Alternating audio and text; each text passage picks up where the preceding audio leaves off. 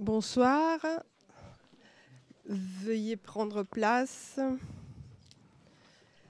Je, vous remercie d'être euh, nombreux euh, pour venir assister à une séance euh, des rencontres de l'IREMO sur un thème qui est un peu inédit par rapport au thème habituel que nous sommes amenés à, à discuter, à approfondir à l'IREMO, qui sont souvent beaucoup plus sur des questions de géopolitique, concernant l'actualité brûlante euh, du Proche et du Moyen-Orient et de la Méditerranée, eh bien là, il sera aussi question un peu de ça, forcément, puisque euh, le, thème de l'édition et de la presse, ce sont des thèmes de société, si on veut, ce sont des thèmes culturels, évidemment, mais euh, et la presse et l'édition sont quand même des indicateurs euh, de la bonne santé d'une société en termes de liberté, de pluralisme. Et donc, euh, on est au cœur, de, je pense que c'est une thématique qui est vraiment avec beaucoup de facettes et qui est donc pour ça particulièrement intéressante. Pour développer donc tout ce thème et puis comprendre un peu où ça en est aujourd'hui, euh, de la presse et de l'édition arabe depuis les révolutions. Nous avons ici deux grands spécialistes de cette question que je, que je présente quand même pour le plaisir, parce que vous les connaissez évidemment parfaitement, mais euh, je trouve que c'est bien aussi de, de les présenter. Euh, je commencerai par Franck Mermier, qui est un anthropologue de formation, spécialiste des sociétés du monde arabe et musulman, spécialiste euh, aussi de, de la dynamique des villes. J'ai vu que vous avez écrit beaucoup de livres sur les villes. Euh, vous connaissez donc bien les sociétés. Vous avez écrit aussi des livres très spécifiquement sur le thème d'aujourd'hui, c'est-à-dire sur les questions de la... Entre autres choses, vous avez été aussi directeur, vous êtes un spécialiste du Yémen, vous êtes considéré comme... Euh, parce que vous avez aussi écrit des livres là-dessus. Vous avez même dirigé à Sanaa le Centre français d'études yéménites il y a quelques années. Vous êtes un ancien de l'IFPO à Beyrouth. Vous êtes un connaisseur du Liban. Donc, euh, le Liban, l'édition, ça va très bien ensemble. Donc, euh, euh, c'est, on est très content de vous avoir ici. D'autant plus que vous avez commis un article dans la revue Moyen-Orient, qui est une revue que, comme peut-être certains d'autres vous savent déjà, est un partenaire euh, constant du, travail de l'IREMO, donc on travaille en partenariat, et qui donc euh, vient de sortir dans sa dernière livraison du mois de septembre un article de Franck Mermier sur la question de la presse et de l'édition arabe. Et pour accompagner euh, Franck Mermier, nous avons ici à ma droite invité Farouk Mardambe, euh, évidemment, c'est absurde de le présenter lui aussi, mais c'est agréable de rappeler qu'il a été, euh, que c'est un écrivain qui est de Damas, un Damascène de Paris, euh, qui a, c'est un écrivain donc, il est très connu aussi pour être un éditeur. J'en dirai un mot tout, tout de suite. Il a été aussi conseiller à l'Institut du monde arabe. Tu ne l'es plus? Tu n'es plus conseiller? Non, depuis un certain temps. Mais euh, dans une grande époque de, l'Institut du monde arabe, euh, Farouk a œuvré à l'intérieur de cette honorable institution. Euh, il a ensuite pris les rênes des éditions Sindbad à la mort de Pierre Bernard, qui avait été le fondateur de cette maison d'édition remarquable qui avait euh, euh, été pionnière dans la, parce qu'elle a permis de découvrir euh, la littérature, mais aussi les sciences humaines du monde arabe. Et je salue la présence ici parmi nous de Claudine Rulot-Balta, qui a été une collaboratrice du début à la fin des éditions Sinbad, et une spécialiste donc aussi de, du monde arabe. Et donc Farouk est maintenant, depuis 95, depuis 20 ans, 22 ans, responsable donc de la collection Sinbad chez Actes Sud, parce que Actes Sud a eu la bonne idée de racheter euh, Sinbad, euh, qui à la mort de Pierre Bernard risquait de mourir tout simplement. Et au contraire, non seulement ils ont eu la bonne idée de la racheter, mais de la confier à Farouk, euh, et mm, qui a aussi publié des livres, parce que tu as écrit aussi des livres publiés entre autres à Actes Sud. ils sont nombreux. évidemment, celui sur Jérusalem d'il y a quelques années, Être arabe un livre euh, particulièrement intéressant. Euh, mais aussi, euh, moi j'aime bien rappeler le traité du pois chiche parce que j'ai une particulière sympathie pour ce, livre-là, que tu as écrit avec Robert Bistolfi, si je ne m'abuse. voilà. Bon, et surtout, tu es un, tu es un, un passeur, euh, comme, disons le passeur de, la connaissance du monde arabe en, France, euh, en tant qu'éditeur, et, dans tout, ton travail de, mise en relation entre euh, la littérature arabe et, le public français. Et puis pour finir, je dirais que tu es le principal, parmi les principaux, animateurs et président, je crois, de Surya Hurriya, qui est l'association qui est aujourd'hui une des plus importantes associations qui anime une activité autour de la solidarité avec euh, les révolutionnaires syriens euh, ici à Paris. Voilà, j'ai un peu, euh, j'espère ne pas avoir oublié des choses majeures de vos parcours. Voilà. Et donc, euh, j'aurais envie de. Bah, je donne tout de suite la parole à Franck Mermier pour commencer, sachant qu'on fera attention à, garder un petit temps un petit temps, un grand temps de discussion euh, euh, avec la salle. Donc, je vous passe la parole. Merci beaucoup. Merci à l'IREMO pour cette invitation qui me permet de, retrouver des amis, et notamment Farouk.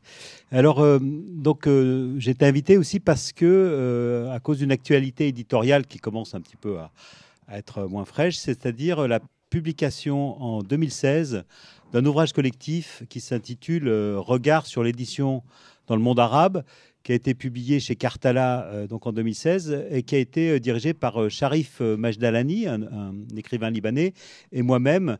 C'était en fait le résultat d'un programme de recherche collectif sur la question de l'édition, avec une volonté un peu démesurée et trop, ambitieuse. C'était de, faire un état des lieux de l'édition dans le monde arabe. Alors on a dans ouvrage 17 contributions euh, euh, de, 11 auteurs. on n'a pas réussi malheureusement à couvrir l'ensemble du monde arabe. Euh, on a eu des désistements aussi, des défections. Donc on a par exemple sur le, au, niveau du Maghreb seulement le Maroc qui est représenté, mais on a une plus grosse couverture. Du côté de l'Orient arabe. et donc, parmi ces, ces, 17 contributions, il y a évidemment des articles sur l'Égypte, la Syrie, le Liban, le Yémen, dont on parlait tout à l'heure, euh, également euh, les pays du, Golfe et l'Irak. Et puis, euh, on a aussi des enquêtes sur une question qui est un petit peu, le, disons, la, la partie immergée de l'iceberg, c'est-à-dire de, l'édition, c'est-à-dire la question de la lecture et des pratiques de lecture. Et donc, on a une très belle enquête sur les pratiques de lecture des jeunes Libanais, parce que c'est évidemment euh, à cette génération que s'adresse aussi cette question. Est-ce que, à l'ère d'Internet, des smartphones, etc., est-ce que la lecture euh, continue à être euh, fait partie du capital symbolique de la jeunesse ou simplement est encore un, élément de divertissement important, de loisirs, etc. et donc, Maud de Stéphane Hachem, qui est professeur à l'université libanaise, a, conduit cette recherche. Il y a aussi une recherche concernant euh, un segment de l'édition arabe qui commence vraiment à se développer et qui est, peut dire, même un enjeu euh, politique aujourd'hui, euh, paradoxalement, c'est celui de la littérature jeunesse. Peut-être que certains d'entre vous connaissent le rôle joué par Dar, Dar al-Fatah al-Arabi, qui était dirigé par un dirigeant politique palestinien et qui avait, dans les années 70, commencé à lancer un grand nombre de publications destinées à la jeunesse avec une orientation nationaliste bien marquée. Et, et Mathilde Chèvre, donc une des auteurs du livre, a travaillé sur la question de la littérature jeunesse aujourd'hui, et notamment sur la question de deux thématiques très importantes, la question de la langue, euh, parce que évidemment, euh, beaucoup, on, s'aperçoit que beaucoup de, jeunes aussi sont détournés de la littérature jeunesse en arabe en raison de difficultés à lire un arabe qui est pour eux trop classique. Hein. Et donc, euh, des efforts ont été faits par certains éditeurs, ou même par, des auteurs évidemment, pour écrire dans un arabe plus allégé, voire dialectal souvent. Et donc, elle, notamment, elle a consacré un portrait à un acteur culturel très important au Liban c'est le fils de Souhail Idriss, Samah Idriss, qui a euh, notamment euh, écrit beaucoup de, livres pour enfants.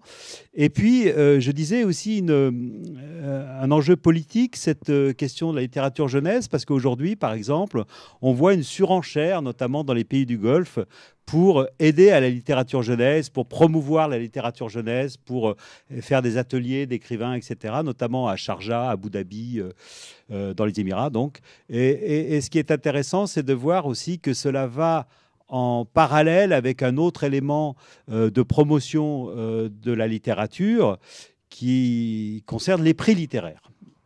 Donc j'ai notamment travaillé moi-même sur euh, la littérature, par la littérature, l'édition dans les pays de la péninsule arabique. Je préfère d'ailleurs, moi, utiliser le, terme péninsule arabique parce que les pays du Golfe, c'est un peu restreignant, alors que l'Arabie, euh, la péninsule arabique inclut aussi le, Yémen. Euh. Et donc, on voit le rôle joué par euh, euh, les États du Golfe aujourd'hui et de la péninsule, surtout les, Émirats notamment, dans la promotion euh, de la littérature arabe ou dans la promotion des traductions. Et là aussi, on voit que comme la littérature jeunesse, il y a une question qui est, qui, qui est véritablement sous-jacente, même qui est parfois exprimée directement, c'est celle de la la présence d'un échelon, d'une échelle qu'on va, appeler, ou d'un niveau panarabe d'intervention. C'est-à-dire euh, que, euh, comme vous le savez, bien sûr, euh, les idéologies nationalistes arabes, hein, pas toutes les idéologies nationalistes, mais l'idéologie nationaliste arabe a beaucoup de, euh, a beaucoup perdu de son, de son aura euh, et décliné. Aujourd'hui, par exemple, les nassériens, le nasserisme, le bassisme, etc., sont des idéologies en déclin, euh, fort déclin même. On peut même dire que après 67 et la défaite arabe de 67, 82 a été finalement le chant du cygne du nationalisme arabe avec l'invasion de Beyrouth et puis finalement la réaction euh, assez euh, tiède des autres pays arabes. Bon, enfin, en tous les cas, sur le plan politique, on voit bien qu'il y a une désaffection par rapport à cette idéologie nationaliste, mais en revanche, ce qui existe toujours, c'est un panarabisme, c'est un ou des panarabismes culturels qui sont finalement un niveau d'intervention à l'échelle panarabe qui fait que euh, de nouveaux acteurs, depuis les années 2000, ont émergé et on joue un rôle très important à ce niveau, rôle parfois positif, parfois négatif. Euh, et ce sont, euh, c'est un rôle joué par les États du Golfe, qui, rappelle d'ailleurs, pour ceux qui s'en souviennent, le rôle joué par le Koweït dans les années 60 et 70, lorsqu'il avait lancé cette revue Al-Arabi, Hein, qui était distribué, qui est toujours distribué dans tout le monde arabe, mais aussi qui avait lancé de nombreux projets de traduction. Parce que ce qui est important aussi, c'est de concevoir la traduction comme un élément de la politique culturelle de ces États. On sait aussi le rôle joué par l'Égypte, hein, avec euh, le l'organisme national de, la traduction, etc., pour ce qu'on appelle souvent enrichir la bibliothèque arabe. Et donc, euh, la bibliothèque arabe, elle va finalement de la Mauritanie au pays du Golfe, à la péninsule arabique. C'est-à-dire qu'il y a cette euh, euh, question d'une culture arabe qu'il faudrait enrichir et, surtout, sous-jacent à cela, l'idée qu'il existe un manque aussi. Un manque en, termes de connaissances. et vous savez sans doute le, disons, le cataclysme qui a été provoqué presque, au niveau symbolique en tous les cas, par la publication du, euh, du rapport des Nations Unies des programmes Nations Unies pour le développement en 2002 et qui donnait ce chiffre ridicule et dérisoire pour le nombre de traductions faites vers l'arabe euh, dans le monde arabe de 500 par, euh, par an. Ce qui est un chiffre faux d'ailleurs, puisque je suis allé voir la source de, de, ce, de, cette, citation, euh, 500 euh, publications par an. Et en fait, c'est un, auteur égyptien qui, a écrit un livre, la, la, la, traduction dans le monde arabe. Et puis en fait, lui, il réfère en fait aux, statistiques euh, de l'UNESCO qui sont fausses, puisque le dépôt légal n'étant pas euh, respecté ou n'existant pas dans tous les pays, effectivement, on ne peut pas avoir euh, un chiffre. Donc on a essayé un petit peu de travailler euh, sur cette question. Donc ça, c'est juste une parenthèse. Et on arrive à peu près à des chiffres beaucoup plus importants de 2000, 3000 ouvrages traduits par an dans le monde arabe, peut-être plus, hein, mais parce qu'il y a beaucoup de choses qui échappent puisque tout n'est pas inventorié. Enfin bref, donc euh, euh, on voit combien finalement la politique culturelle au niveau du livre, combien le livre euh, est important donc, et combien le livre reste, possède un statut symbolique très important. C'est-à-dire que lorsqu'on parle à des éditeurs arabes un peu partout dans le monde arabe, tout le monde se plaint de la crise du livre. Et moi, lorsque j'ai commencé mes recherches sur la question du livre dans le monde arabe, c'est-à-dire au début des années 2000, tout ce que je trouvais, c'est la crise du livre, la crise du livre. Même dans les années 80, il y avait toujours une crise du livre. C'est-à-dire le nombre de, lecteurs qui se raréfient, etc. Enfin, il y avait tout, euh, enfin, en tout cas, bon, c'est un peu aussi de la nature de ceux qui font, euh, euh, qui font le commerce de, se plaindre qu'il n'y a pas assez de vendeurs, mais d'acheteurs, pardon. Mais il y a, il y avait, il y a, cette question récurrente de la crise du livre. Mais on s'aperçoit combien, en retour, le statut symbolique du livre est important par ses politiques culturelles que je n'ai pas toutes euh, euh, énumérées, et aussi par la question de la censure. Bon, on pourrait se dire, euh, si le livre n'était pas important, bah, on n'aurait pas tous ces dispositifs de censure qui existent soit au niveau d'une censure préalable dans certains pays, soit lorsque se déroulent des foires du livre dans le monde arabe. Bref. Donc, cette euh, politique de promotion culturelle aussi du livre a joué aussi sur le plan des prix littéraires. là, je pense que Farouk euh, euh, aura certainement un, mot à dire là-dessus, puisque un des plus grands prix littéraires du monde arabe a été créé en 2007 à Abu Dhabi, le, prix international de, de, la fiction arabe, sur le modèle du Booker Prize anglais, britannique, et depuis 2007, donc décerne un prix annuel chaque année euh, à euh, un auteur euh, arabe. Donc, c'est-à-dire, il y a aussi cette dimension pan-arabe, hein, puisque ce sont des auteurs recrutés, sélectionnés dans différents pays. Évidemment, ce n'est pas, le premier prix, il y en avait d'autres avant, il y en a eu d'autres après. C'est-à-dire qu'il y a aussi une floraison de prix, de programmes de traduction, de la part notamment des pays qui sont les plus dotés euh, financièrement, mais aussi dans d'autres pays. Donc cette question du statut symbolique du livre euh, était importante. Et puis on a travaillé aussi sur la question également de, qu'est-ce que c'est finalement ce qu'on pourrait appeler un système éditorial arabe.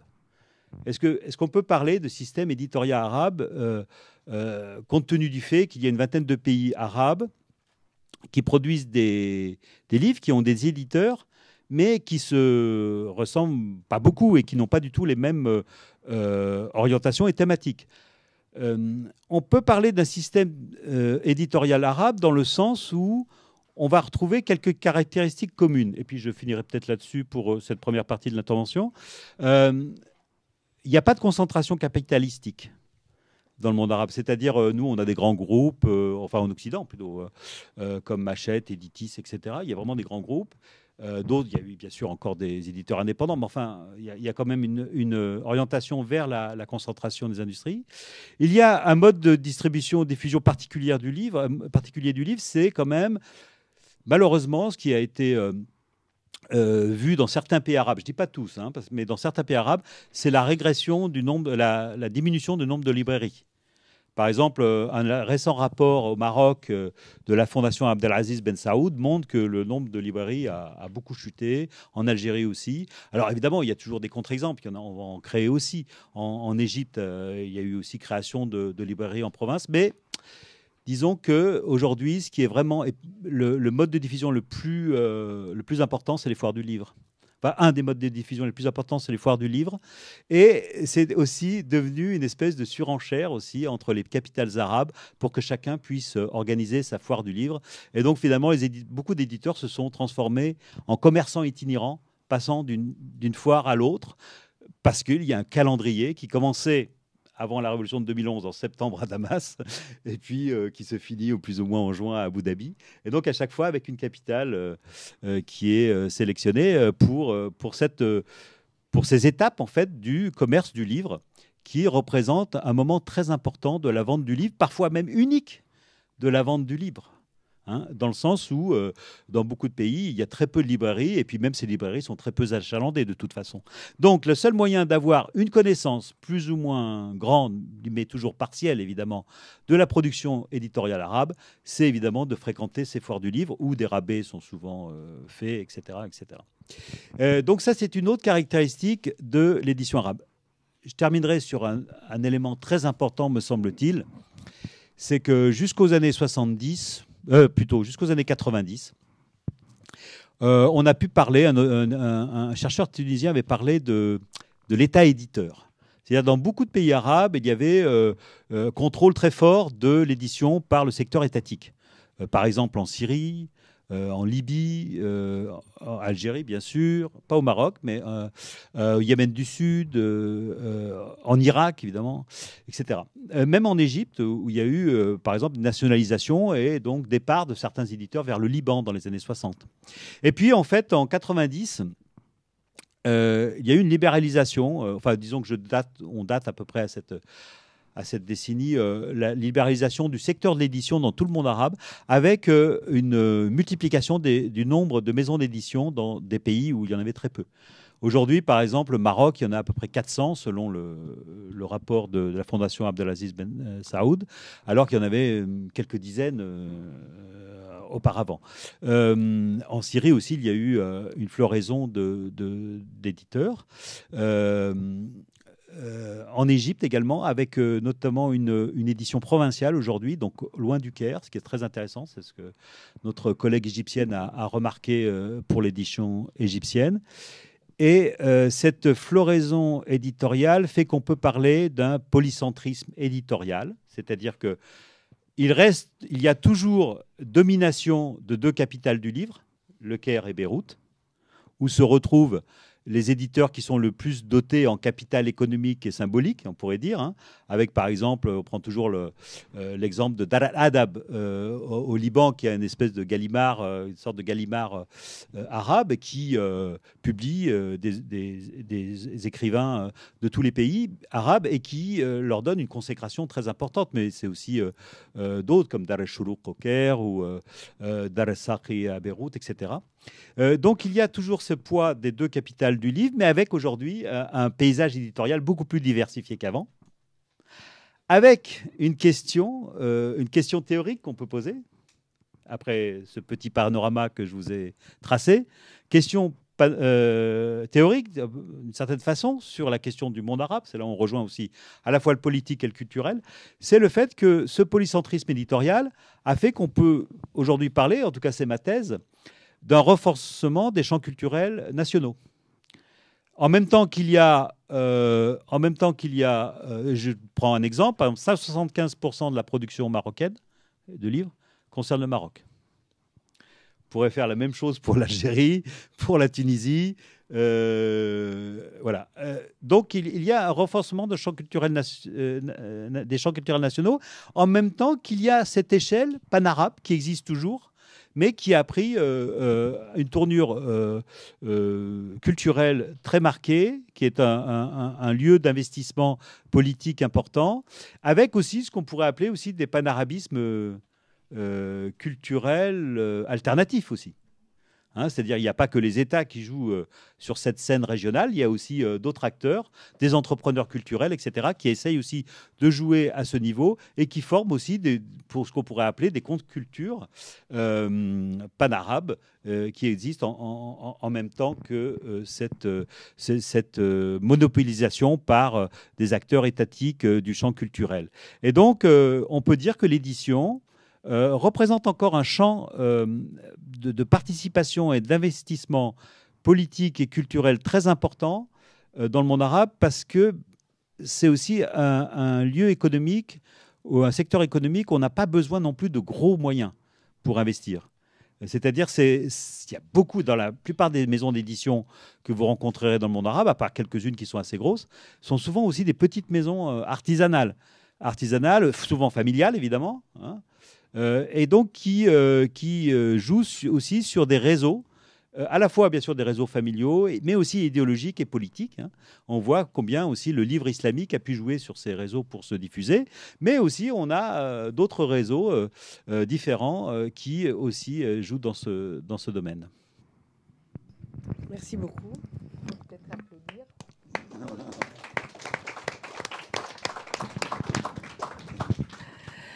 Les derniers mots que vous avez prononcés me, permettent de faire une transition euh, avant de donner la parole à, Farouk Mardambe. C'est que à propos, à de, cette, euh, phénomène de création de champs culturels nationaux, euh, ça me fait penser beaucoup à quelque chose que, dont Farouk a, euh, parlé, je me souviens, il y a quelques années, euh, y compris pour expliquer une des raisons potentielles de, cette vague de révolution arabe de 2011, qui paraissait à tout le monde un peu inexplicable, ou alors vraiment avec beaucoup, beaucoup de difficultés à comprendre une différence de situation si grande, et, puis ce, cet effet domino, etc.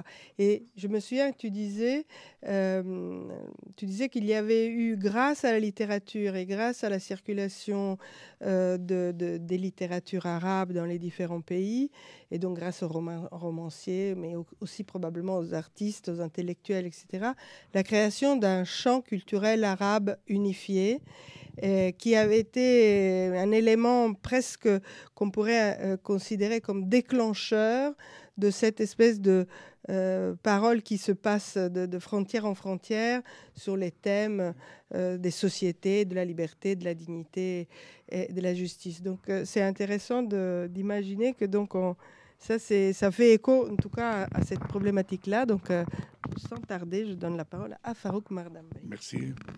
Bonsoir. je crois que justement l'un des le grand paradoxe de la vie culturelle arabe aujourd'hui, c'est l'existence de ce champ culturel arabe et en même temps l'état, je dirais, désastreux de l'édition. Euh, je prendrai les. Euh, d'abord, je, voudrais dire que le livre coordonné par euh, Franck J'aurais voulu dire qu'il est le meilleur sur le marché. En fait, je ne le dirais pas parce qu'il est le seul. Le seul vraiment qui mérite qu'on lise. Et euh, c'est l'un des problèmes aussi de l'édition, c'est qu'en en aussi, on ne trouve pas d'études sérieuses sur l'édition. Il n'y en a pas. Et euh, là, euh, il y a quelques jours, pour préparer cette rencontre, j'ai lu une bonne dizaine d'articles euh, paru dans la presse arabe sur ce qu'ils appellent la crise de l'édition. Bon, d'abord, il y a une unanimité sur la question. L'édition est en crise. Il parlait de l'état actuel des choses. Certains euh, parlent d'une crise qui a des raisons économiques. C'est euh, le prix du papier, la lourdeur des taxes, la crise économique générale dans le monde arabe, etc d'autres de, crise aux origines politiques, instabilité politique depuis le déclenchement du printemps arabe. Bon. Et euh, alors que au début, en 2011, il y a eu au contraire un, petit, un petit, un élan, disons, dans l'édition et dans la presse, et puis que comment cela a été stoppé et qu'on assiste à un recul euh, depuis lors, avec la destruction même de ce secteur éditorial dans certains pays, comme la Syrie, c'est évident. Euh, il y a, en tout cas, quand on, veut aller un peu plus loin, on sent aussi que euh, tous les chiffres qu'on nous donne sont faux et contradictoires. C'est-à-dire, dans ces dix articles que j'ai consultés, il n'y a pas deux chiffres qui se ressemblent quand on parle de la production éditoriale de tel ou tel livre, ni sur le ni sur les tirages, ni sur le nombre des périodiques dans chaque pays. et cela, bien sûr, nous, perd, et cela a perdu les gens qui avaient préparé dans le temps ce fameux rapport euh, sur l'état euh, culturel, sur les traductions dans le monde arabe, etc. Parce qu'on a donné des chiffres soit très bas, soit parfois on gonfle les chiffres, mais sans aucun contrôle. Euh,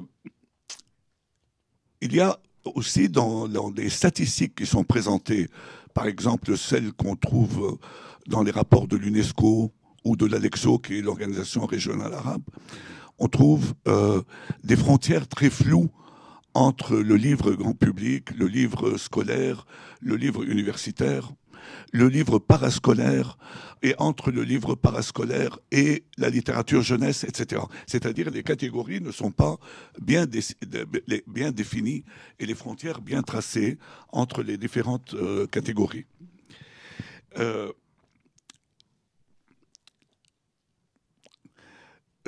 on se plaint, euh, par exemple, tout le monde dit que les salons du livre, c'est essentiel, c'est là où on vend le plus de livres, etc. Mais tout le monde se plaint de la gestion de ces salons du livre, comme quoi il y a une censure totalement arbitraire à la gueule du client, si je puis dire. Et euh, je me rappelle par exemple d'un article très méchant écrit par euh, Riyad Reyes, le fameux éditeur libanais, sur son expérience à la foire du livre de Sharjah, qui est maintenant peut-être euh, la, foire la plus courue dans le monde arabe, qui venait de se, terminer dernièrement, et où des stocks de livres ont été arrêtés comme ça, on ne savait pas pourquoi, alors que les éditeurs avaient été sur place et avaient transporté leurs livres, euh, réservé leur, leur chambre d'hôtel, etc. Donc il y a, euh, différents aspects euh, de la crise, des aspects très importants de fond, disons, d'autres qui sont, disons, de, de gestion. C'est pour cela d'ailleurs qu'il y a eu la constitution d'une union des éditeurs arabes. Et euh, cette union des éditeurs arabes se présente comme euh, celle qui va régler les problèmes. Alors, en l'an 2011, euh, cette union des éditeurs a commandé, a lancé une enquête sur la base d'un formulaire qui n'est pas mal fait, bon, et l'a envoyé à la plupart des pays arabes, je n'ai pas compris d'ailleurs pourquoi ils l'ont pas envoyé au Maroc ou à Oman ou à d'autres pays, mais en tout cas, ils l'ont envoyé à pas mal de pays et il y en a 11 pays qui ont répondu. Alors, ceux qui ont répondu, en principe, c'est soit les autorités publiques de ces pays, soit les unions d'éditeurs locaux. Bon. Et euh, quand on consulte ce rapport, qui est d'une centaine de pages, on est frappé immédiatement dès les premières pages par les contradictions entre les chiffres. Par exemple, on vous dit euh, en Égypte, on produit entre, c'est même pas un chiffre, euh, un chiffre exact, alors qu'il y a en principe un dépôt légal dans le pays depuis 1955, euh, entre, 1000, entre 10 700 titres et 12 300 titres. Ensuite, quand il, les catégories des, livres par, par, euh, par, euh, euh, par genre, et qu'on fait la somme, la somme dépasse de loin les, ces chiffres-là. Bon. Ou bien il, il, il, il, y a des chiffres donnés par exemple par, par l'Irak, comme quoi l'Irak produit chaque année 7500 titres, ce qui est absolument impossible absolument impossible. Et, et puis, quand on fait aussi la somme des, des, livres comme ils sont, des catégories, etc., on, voit que ça ne correspond à rien. De même pour les, euh, pour les périodiques, où il y a des pays qui ont 549 euh, périodiques. Alors on se demande où sont ces périodiques, où, est cette presse qu'on n'a jamais vue. Alors, le, alors que le, formulaire était très bon, il y a des données de base sur le pays, la production du livre et des traductions, les lois régissant la production, les droits d'auteur, les éditeurs, le nombre d'éditeurs, la fabrication du livre, euh, c'est-à-dire les imprimeries, euh, la diffusion sur la publicité, etc., le marché intérieur dans chaque pays, l'exportation du livre, le prix du livre, les taxes, les répertoires bibliographiques, euh, l'enseignement de l'édition, etc. Mais tout cela, vraiment, est extrêmement confus. Extrêmement confus. D'où l'importance, encore une fois, des efforts qui sont faits par certains chercheurs, comme mon ami Franck Mermier, pour essayer de, de, trouver vraiment des, de comparer des chiffres, d'essayer de trouver euh, des choses exactes sur lesquelles on peut compter. Alors, euh, qu'est-ce qu'on peut tirer quand même de, cette, euh, de ce travail, qui est le dernier en date d'ailleurs Ils l'ont fait en, ils ont lancé cette enquête en 2011. Le, rapport a été publié en 2013-2014 et il n'y a pas eu de suite pour les années d'après. L'Union des éditeurs arabes a été, a, été désespérée par la réaction des différents éditeurs, des différentes autorités qui gèrent le secteur du livre euh, en réaction à la demande d'une de réponse exacte euh, à l'enquête. Alors bien entendu, euh, l'Égypte et le Liban restent les deux pays pilotes. Euh, je, prends, les chiffres tels qu'ils sont. Alors, on dit qu'en Égypte, on produit au plus 12 300 titres, euh, qu'il y a 249 périodiques. Et euh, ce qui est intéressant à noter, c'est sur les 12 300 titres, il y a 2172 titres sur la religion. 2172, donc le cinquième. Euh, et ce sont les, les, livres qui ont le plus gros tirage. Il y a, en revanche, 413 traductions. Il y a 1200 éditeurs. Bon. Mais il y a 439 seulement qui produisent des livres. 5500 imprimeries et le prix moyen du livre est relativement bas. En Égypte, il est de 5 dollars. Au Liban, la production est de 3000 titres, dont 1000 scolaires et parascolaires, ce qui réduit considérablement euh, le nombre. Et au Liban aussi, sur ces 3000 titres, il y a 600 titres religieux. Et il y a 600 en français et en anglais. Donc tout cela nous montre que la production quand même est, beaucoup plus limitée qu'on l'imagine. Ça, ce sont les. C'était 2011, et les, éditeurs libanais disaient qu'il y avait déjà une crise dans euh, la production du livre. 385 périodiques, le tirage moyen du livre est de 2000 exemplaires, il y a 600 euh, il y a 1350 imprimeries, petites et grandes. Mais partout, partout, donc, on, a le taux extrêmement élevé de livres religieux. En Syrie, sur 1370 titres publiés, 500 sont des titres religieux. Alors qu'il y a 75 traductions seulement. Sur 700 éditeurs, près du tiers sont spécialisés dans les éditions du Coran et du livre religieux.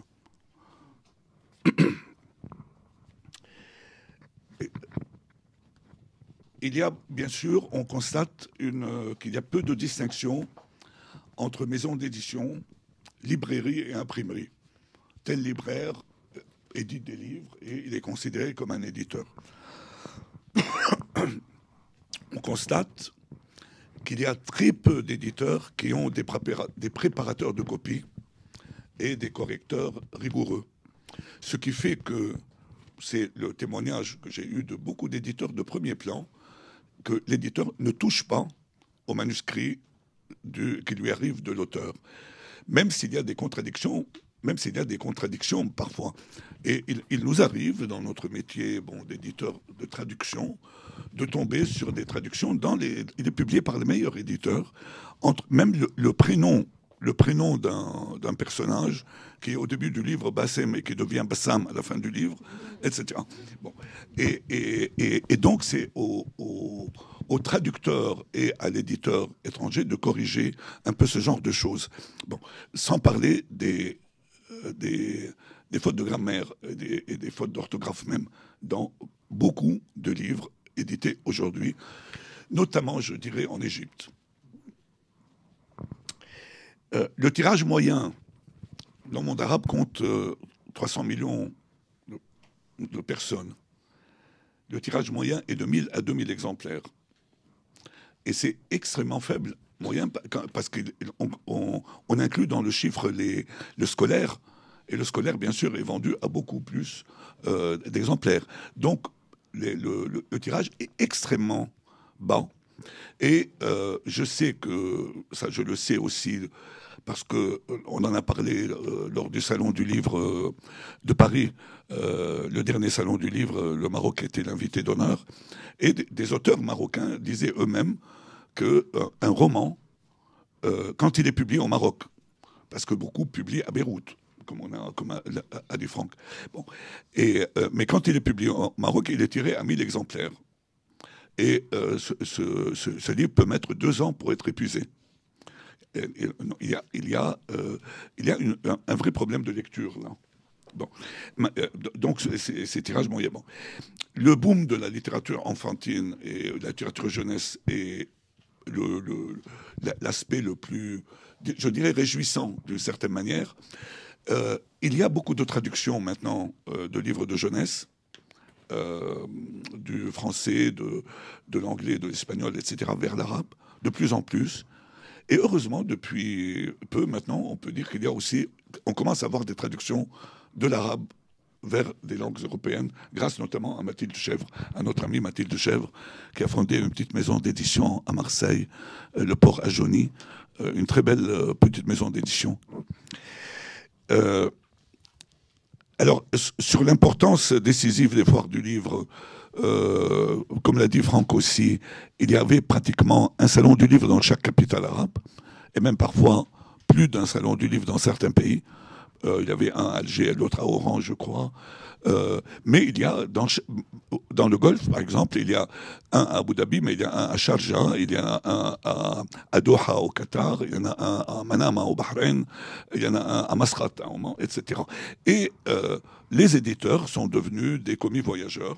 C'est-à-dire ils, passent leur temps euh, entre ces différentes euh, foires euh, pour vendre, pour écouler leurs livres, et c'est là que, qu'ils vendent le plus, selon leurs témoignages, tous. J'ai vu aussi là un témoignage de Maher Kayali, qui est le qui est le, directeur de Moassas al-Arabiya à Amman et Beyrouth, et qui dit que sans ces foires, les librairies euh, vendent très peu. Là aussi, c'est un, vrai problème. C'est qu'il n'y a pas de librairie, il y a de moins en moins de librairies et de moins en moins de, libraires formés au métier de libraire. Bon, donc euh, euh, vous allez dans une librairie et vous demandez un livre, le, libraire n'a pas le et ne peut pas conseiller un lecteur euh, de quoi lire, euh, que choisir entre deux éditions, etc. Il n'y a pas ce qui existait dans le temps, sans formation, mais avec cette culture. Euh, une, érudition populaire, disons, ancienne, où un libraire connaissait tout, avait tout en tête. Il n'avait pas d'ordinateur, mais il avait en tête tous les titres qui existaient et pouvait vous conseiller. Et maintenant, avec l'ordinateur, il, n'arrive pas. Bon. Et il y a un non-dit. Il y a un non-dit qui n'est pas dit dans cette, euh, euh, étude ni dans le livre de Franck. C'est que euh, une bonne partie des livres, une bonne partie des livres maintenant sont publiés à compte d'auteur. Je veux dire que non seulement l'éditeur ne paie pas l'auteur, mais c'est à l'auteur de payer. Bon, et c'est une pratique qui se répand dans tous les domaines. Cela a commencé dans le domaine de la poésie, parce que tout le monde disait que la poésie ne vendait très mal, et donc un poète, un jeune poète qui voulait publier son livre, devait euh, euh, payer ou acheter 100 ou 200 exemplaires de l'édition de 500 des 500 exemplaires publiés par l'éditeur. Bon, maintenant, cette pratique se répand à tous les niveaux. Vous voulez publier un essai, si vous n'êtes pas connu, si vous n'avez pas une certaine renommée, si le titre n'est pas particulièrement sexy, etc., bon, euh, vous, devez payer. Et euh, là, récemment, un, auteur syrien que je connais et qui est un monsieur vieux qui a déjà, écrit 7-8 euh, livres et qui dit que son dernier livre, il n'a pas pu le publier sans payer et euh, que l'éditeur ne lui a même pas envoyé un exemplaire à la sortie du livre. Lui qui vit aux États-Unis parce que la poste, pour envoyer un livre, c'est 10 dollars et c'est beaucoup. Bon, ça c'est, euh, à mon avis, c'est un signe euh, de plus sur l'état calamiteux, je dois dire, de, de l'édition en ce moment. Et c'est d'autant plus triste, je dirais, euh, qu'il y a une créativité réelle sur l'ensemble du monde arabe, dans ce champ culturel unifié arabe, de la Mauritanie jusqu'au Koweït, euh, notamment dans le domaine littéraire. ça, part de partout, euh, mais il n'y a pas de répondant du côté de, de, de, de l'édition. dernier point, on peut se demander quand même si un moment, un moment dans l'histoire euh, de l'édition arabe, quand les États euh, pensaient qu'ils avaient, une mission culturelle et proposaient des livres à très bas prix et relativement bien faits. Je pense à l'Égypte du temps du grand ministre de la Culture, Sarwat Okashra.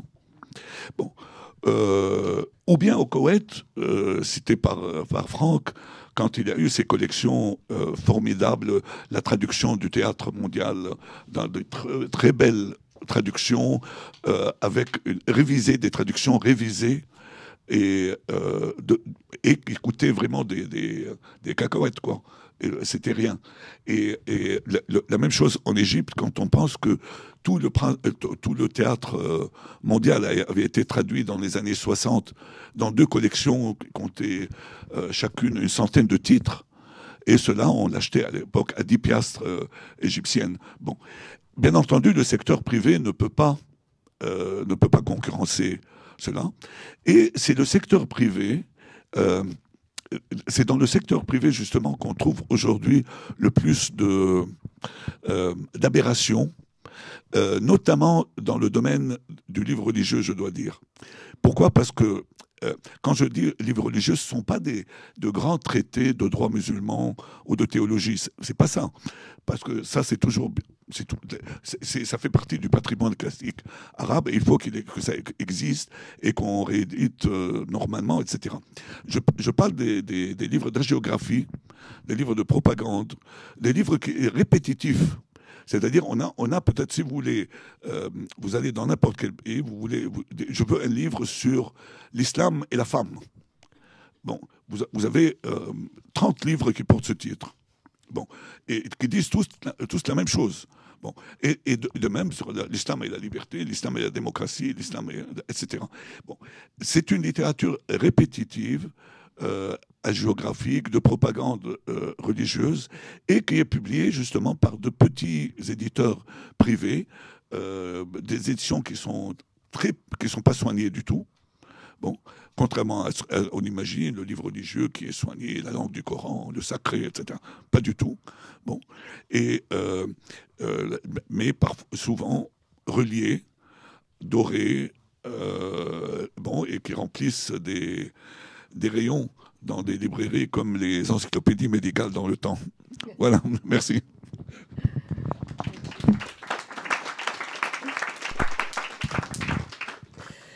Merci, merci beaucoup pour, euh, le diagnostic est assez sévère, euh, probablement juste. Euh, néanmoins, on peut imaginer que qu'il existe des écrivains. Alors, euh, comment font-ils? Euh, Est-ce que l'Internet euh, peut-être a un rôle dans cette affaire? On verra bien. Je passe la parole aux uns aux autres, mais je voudrais juste euh, rappeler que vous avez parlé des salons et des foires du livre qui sont des moments importants pour euh, la découverte des livres et donc la lecture aussi, l'achat des livres.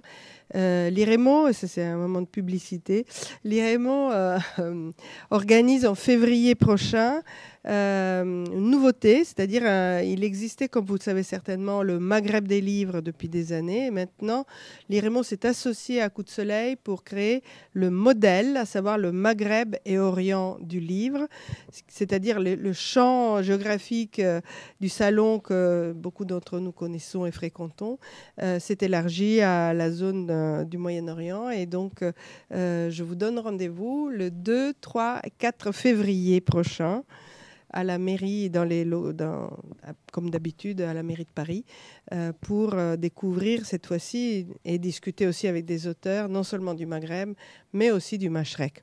Ceci étant dit, euh, je vous donne la parole pour des questions que j'imagine assez nombreuses sur le sujet qu'on a évoqué.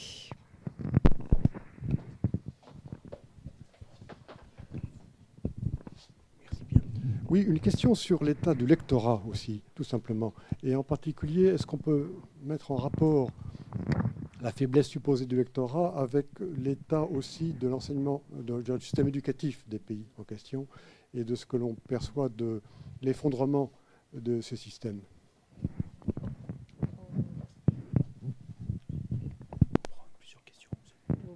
bah Prenons d'autres questions et après on fera un tour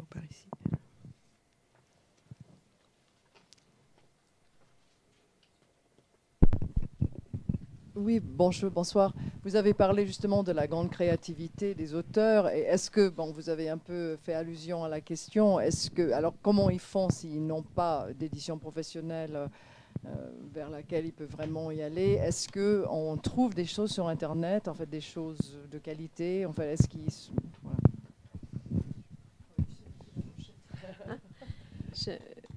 juste une question sur euh, quelque chose que vous n'avez pas abordé, dont moi j'ai beaucoup entendu parler, qui est le piratage des livres. moi, je voulais savoir si les écrivains, euh, comme beaucoup sont en exil, euh, est-ce que c'est une tendance qu'ils écrivent en arabe et qu'ils soient d'abord publiés en français ou en anglais avant d'être publiés en arabe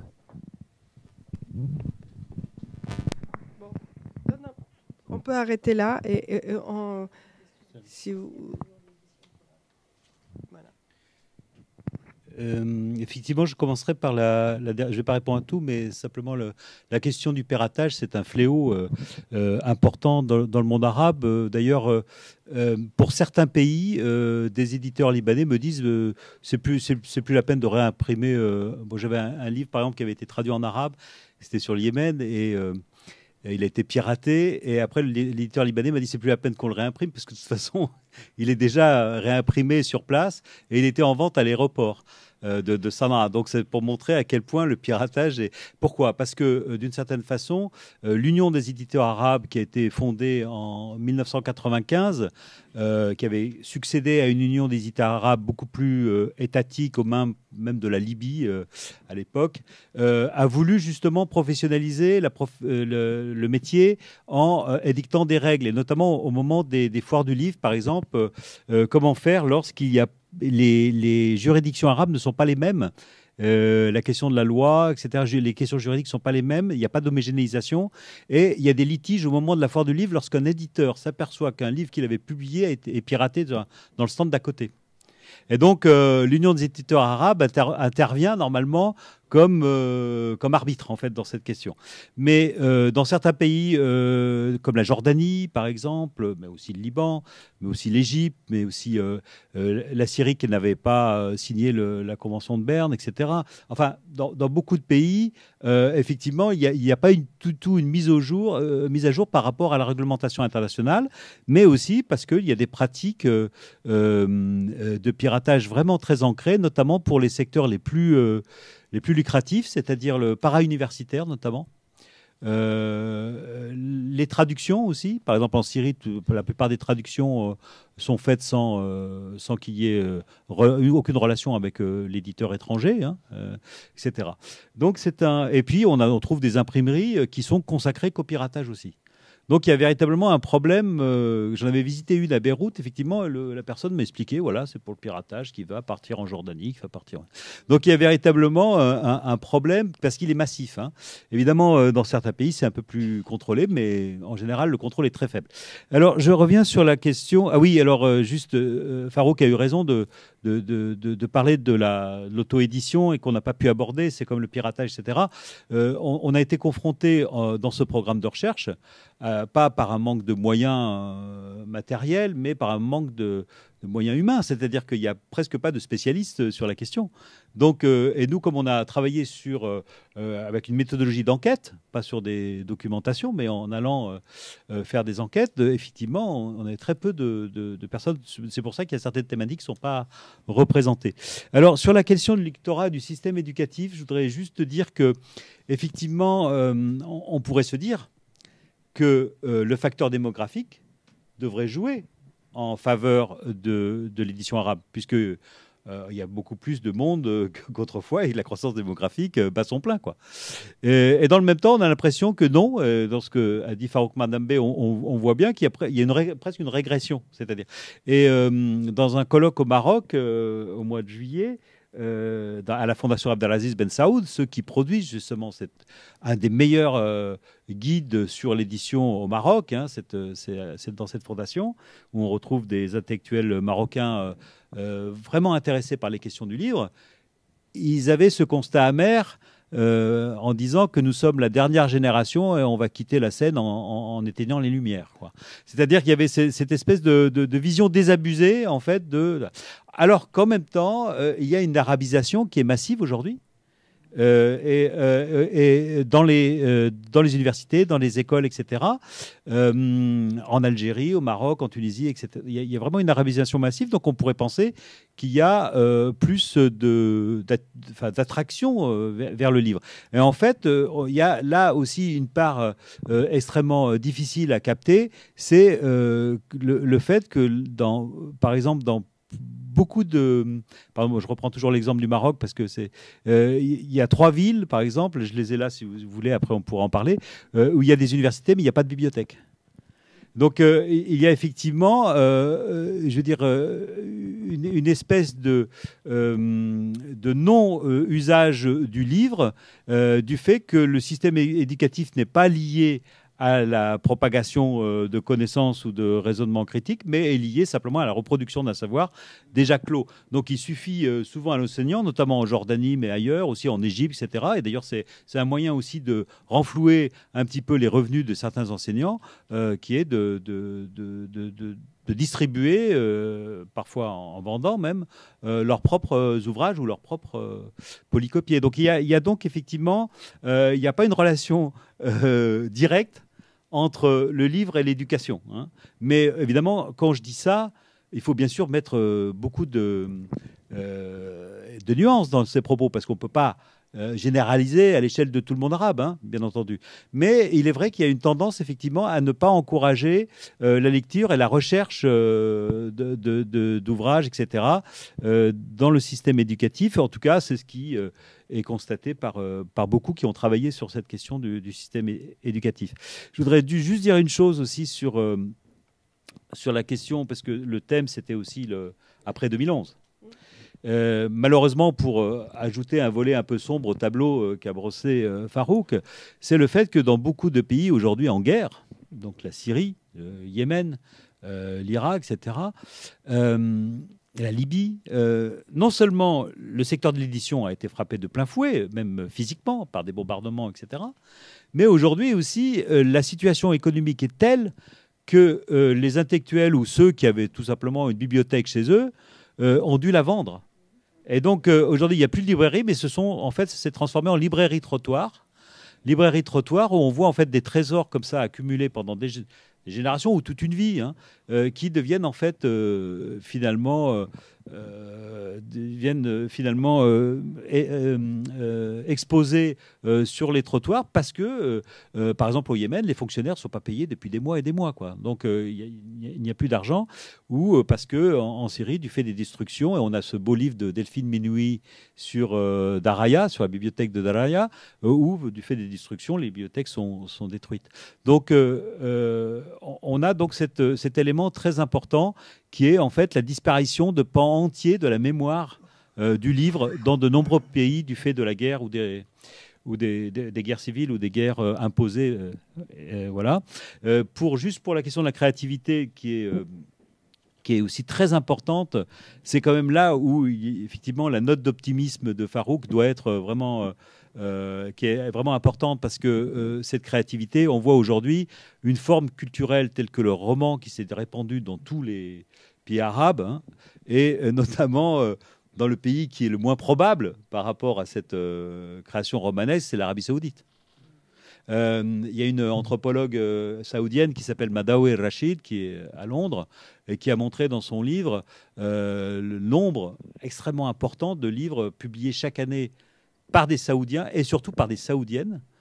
plus d'une centaine par an, évidemment, ne sont pas publiés en Arabie saoudite mais ils sont publiés en arabe. Et, euh, donc euh, là, je crois que c'est important parce que quand je parlais de champ culturel national, euh, effectivement, la littérature est très peu représentée en Arabie saoudite et aujourd'hui, cette forme culturelle nouvelle commence à être véritablement quelque chose de, très installé. Oui. À ce propos, dans l'enquête de l'Union des éditeurs arabes, on constate que l'Arabie saoudite est le principal importateur du livre le principal importateur du livre arabe. C'est-à-dire tous les, tous, les éditeurs de tous les pays arabes dire que leur principal client est l'Arabie saoudite. Et cela me rappelle une autre enquête qui avait été faite il y a deux ou trois ans sur le lectorat arabe, sur la lecture, euh, les lectures des lettrés.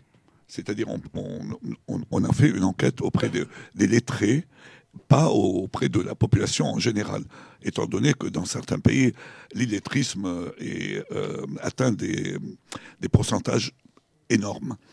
Et euh, paradoxalement, on a constaté que les lettrés qui lisaient le plus étaient des Saoudiens, et ceux qui lisaient le moins étaient des Libanais. voilà. voilà. bon. Euh, alors, pour ce qui est du piratage, le piratage est, euh, comme dirait un, ami, c'est un signe que le, que le livre est bon, quoi. C'est-à-dire parce que s'il n'est pas bon, s'il ne, euh, s'il ne se vend pas bien, pourquoi le, aller le pirater? Et donc, les, les, livres les plus, les plus piratés dans le monde arabe ont été ceux de Naguib Mahfouz, de Nizar Rabbani, de Mahmoud Darwish, etc.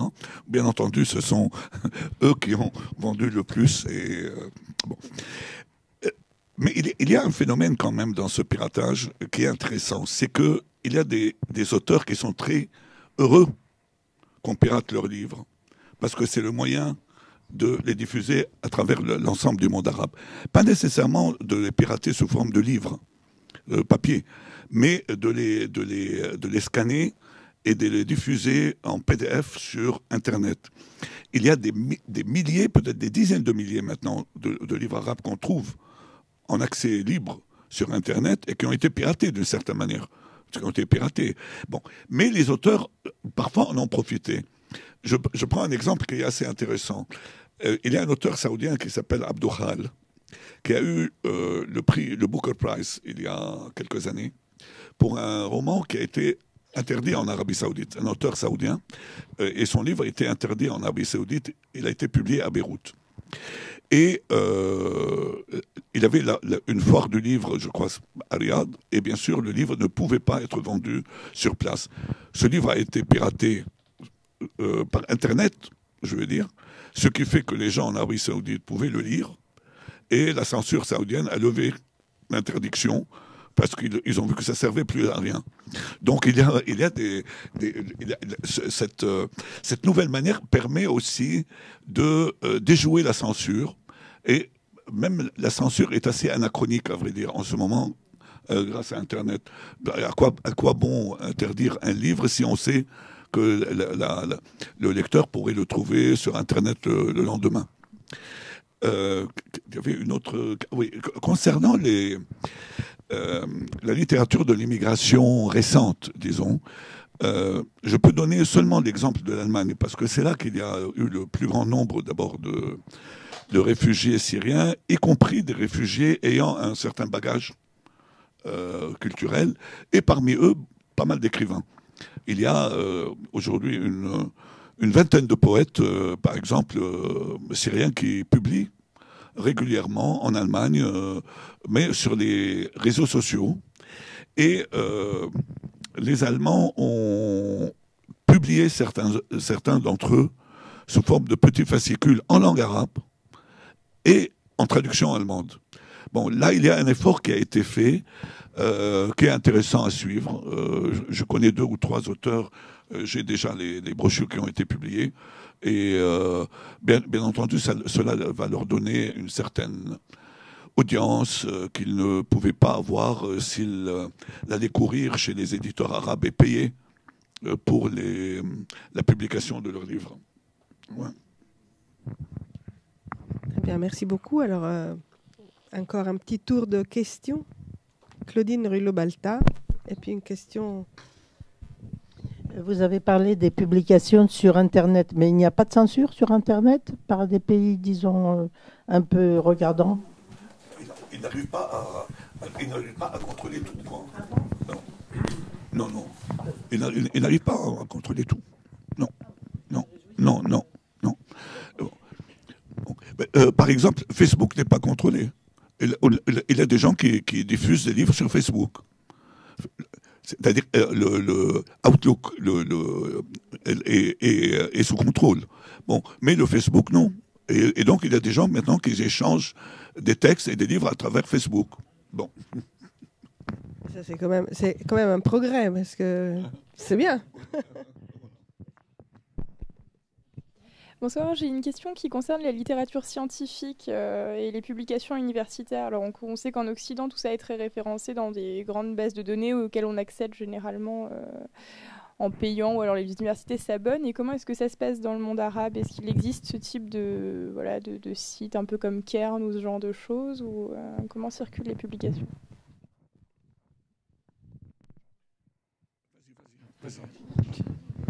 C'est le temps de réfléchir. non, en fait, euh, euh, vous parlez de, des, sciences plutôt sciences dures, des choses comme ça? Ouais. Euh, bah, pas l'impression qu'il existe euh, jusqu'à présent euh, des, bases de données euh, du type Kern qui permettraient d'avoir accès à toutes ces publications en arabe. Hein, on parle en arabe, oui, tout à fait. Il n'y a, pas, à ma connaissance, de ce, type de dispositif en tous les cas. En revanche, disons si on prend par exemple la, question des sciences sociales.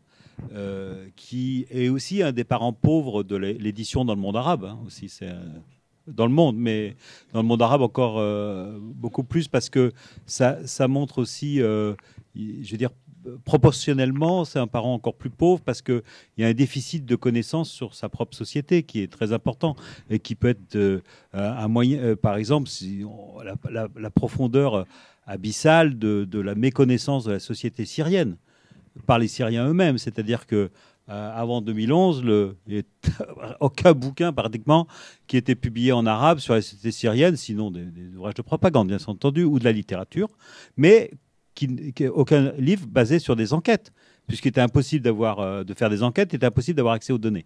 Donc il y a aussi, euh, dans ce sens-là aussi, le phénomène de la censure qui joue. Hein. C'est-à-dire que toute la production scientifique, là, dans le cas de, pays dictatoriaux, est euh, concentrée euh, et n'est pas accessible. Mais ce que je voulais dire, c'est quand même qu'il y a, qu'il existe aussi des initiatives euh, vraiment heureuses euh, je vais reciter cette fondation parce que la fondation Abdelaziz à, Casablanca parce qu'elle a, elle a la plus grosse euh, bibliothèque de sciences humaines dans le monde arabe et donc elle a une base de données extraordinaire pour justement euh, travailler sur cette question. Ensuite, il y a eu un, programme organisé par l'Institut de recherche pour le développement français. avec un, chercheur, professeur de l'université américaine, euh, Salih Hanafi, donc Rigas Arvanitis et Sari Hanafi ont publié un ouvrage en arabe et un autre en anglais sur la production de la connaissance dans le monde arabe. Donc ils ont réussi à établir, eux, des statistiques très importantes sur la production, c'est doit s'appeler Production of Knowledge in the Arab World, et c'est en arabe et en anglais. Et ils ont euh, réussi à travailler euh, à partir de euh, d'universités, mais à chaque, fois en faisant des enquêtes sur place. Donc il y avait des équipes en Jordanie, au Liban, en Égypte, au Maroc, avec des chercheurs locaux sur place pour essayer d'obtenir des données. Et donc ils sont arrivés à établir des statistiques, notamment sur le nombre d'ouvrages scientifiques. Hein, paraissant en arabe, ceux qui euh, sont publiés en anglais, ceux qui sont publiés en français. Et ça donne une très très bon tableau de l'état de la, de la, production de savoir dans le monde arabe. Hein. Ça, c'est... Alors il y a, ils sont arrivés par exemple à cette à ce dicton, si on peut dire, hein, parce qu'autrefois on disait le Liban imprime, l'Irak lit et l'Égypte écrit, voilà. Et euh, bon, maintenant c'est plus tellement vrai, hein, mais mais là c'est euh, c'était leur dicton, c'est euh, soit on publie localement et on meurt globalement, publish locally and perish globally, soit on, publie globalement, c'est-à-dire en anglais, et on meurt localement et on n'est pas connu. Donc c'est intéressant, c'est-à-dire que l'arabe ne permet pas d'accéder à l'universel, si on peut dire, et puis écrire en anglais ou en français ne permet pas d'avoir de, reconnaissance euh, sur place, si on n'écrit pas en arabe. Oui, euh, bien, entendu, le, tableau assez noir que j'ai présenté ne veut pas dire qu'il n'y a pas de bons éditeurs. Il y en a quelques-uns, mais je veux dire, mais vraiment quelques-uns. Et, et, quand, on, quand on pense aujourd'hui, c'est-à-dire si je veux publier un livre, euh, au Liban. Bon, qu'il y avait, comme on a dit, 700, 800 euh, euh, éditeurs. Bon, tous ceux qui veulent, bon, on dit, il faut aller soit chez l'Adab, soit Saqi, soit Riyad Reyes, bon, soit moi, ça l'Arabie, quatre ou cinq maisons d'édition, bon, qui sont correctes. Et, et puis on sait qu'ils sont présents en librairie, d'abord, dans les rares librairies qui existent, et qui sont présents dans tous les salons du livre donc euh, que, le livre va être euh, à la disposition des lecteurs, ce qui n'est pas le cas si on publie chez euh, d'autres éditeurs, et qu'ils ont un minimum, un minimum de sérieux dans la préparation de copies. Pas, pas, pas beaucoup. Pas beaucoup. Il n'y a pas de directeur littéraire, comme, comme je dis, donc il n'y a pas de. Il y a, comme me dit une, éditrice des plus célèbres, qui est l'auteur qui accepte que je touche à son manuscrit. C'est impossible. Euh, son sexe est sacré, on ne peut même pas changer un mot ou une phrase. Bon, alors, euh, et je lui ai raconté comment euh, Jérôme Lindon corrigeait les textes de Beckett.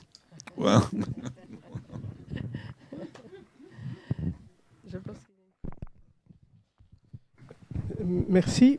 Je voudrais tout d'abord dire le, plaisir qui a été le mien de, suivre ces deux présentations euh, qui euh, traitent d'une question transversale en fait. Parce que si on se pose ces questions relatives à, euh, à la publication, à l'état de l'industrie de l'édition, etc., il n'y a pas que cela. Parce que ça, c'est une façade qui nous montre ou nous permet de, une façade qui nous permet de de comprendre d'autres aspects et d'autres contradictions de nos sociétés. Quand on parle, par exemple, de champs culturels unifiés ou uniques, c'est beau de dire cela, mais la réalité est plus complexe.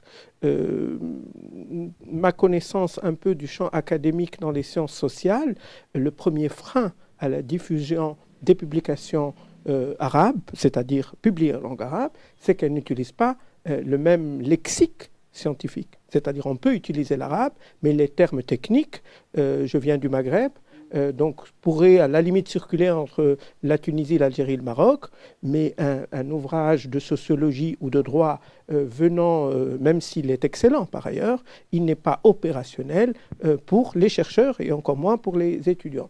cela fait partie, par exemple, des freins réels à une réalité qui semble idyllique, c'est-à-dire on a globalement un monde de 300 millions d'utilisateurs de, de la langue arabe, sachant qu'elle a des niveaux et des intensités variables.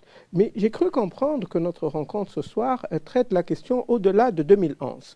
2011, pour ne pas aller vers les adjectifs, a apporté globalement deux choses, euh, des guerres ici et des libertés là. Vous avez très bien traité tous les deux la question des effets euh, de la crise et notamment de la guerre, et euh, c'est malheureux, mais c'est la réalité que vous avez décrite. Je peux apporter le témoignage d'une autre situation, euh, qui est celle de la Tunisie, qui aujourd'hui n'a plus du tout de problème de censure. Et, donc on voit, par exemple, même si l'édition est timide, même si les, même les grands éditeurs restent à la dimension du marché tunisien, donc réduit, mais cette liberté de publier parfois même quelques centaines de titres seulement, euh, euh, d'exemplaires d'un titre, permettent par exemple à des champs entiers de la connaissance de se raviver et de se mettre à exister. Je prends l'exemple de la euh, de l'histoire moderne de notre pays, qui a été euh, sous le joug d'une agiographie, d'une histoire officielle et des interdits ici ou là euh, d'une histoire, on va dire, pour le moins en dehors des sillages officiels. Aujourd'hui, c'est des livres, d'ailleurs, c'est les livres les mieux vendus aujourd'hui en Tunisie, sont les livres relatifs à l'histoire euh, récente, pas forcément à 2011, mais à l'indépendance, à la place, par exemple, de l'État national, de Bourguiba, etc. C'est les best-sellers et qu'on réédite trois fois. Et ça, ce n'est pas dû à, la bonne santé économique des éditeurs, mais tout simplement à la liberté, puisqu'on peut écrire euh, tout maintenant, y compris n'importe quoi, mais tout. Euh, ce, qui est, à mon avis, une chose à saluer. La deuxième chose, vous l'avez tous évoqué, mais je crois que c'est un problème beaucoup, qui va plus loin que l'édition, c'est la question du lectorat. C'est-à-dire, si on ne lit pas, ce n'est pas une question que le livre soit cher ou pas cher. On peut toujours trouver un livre pas cher ou un livre cher qu'on achète à l'édition, euh, qu'on achète en, occasion. Mais c'est la question du rapport à la connaissance, du rapport à la lecture dans la structure euh, d'un individu, pour ne pas dire un citoyen. Et là, le problème est ailleurs. Je crois qu'il n'est pas du tout du côté de l'industrie, encore moins de l'économie. C'est une question de la structure même et de la formation euh, de, de l'arabe d'aujourd'hui, pour ne pas parler de citoyen, parce que le terme, je crois qu'il ne peut pas circuler euh, dans, dans tous les pays, la question de la citoyenneté. Et je crois que de ce point de vue-là, je crois qu'il y a une interpellation très très large. En tous les cas, votre débat a l'avantage euh, de nous rendre conscients de, la complexité de ce problème. Merci beaucoup. Peut-être une info ou un élément. Alors, vous avez parlé de censure, c'est vrai. C'est une censure en amont, essentiellement avant. Alors, aujourd'hui, il y a une censure ou une influence indirecte qui est l'État, non pas éditeur, euh, mais l'État acheteur. C'est-à-dire, il y a une commande publique énorme des livres et il y a des gens qui publient les livres en fonction de l'inclinaison des acheteurs, euh, une commission nationale, et ça, ça se chiffre en milliers euh, d'exemplaires pour chaque titre, et donc c'est un enjeu euh, énorme. Peut-être y a-t-il une influence indirecte de ce point de vue-là. Merci beaucoup. Merci beaucoup.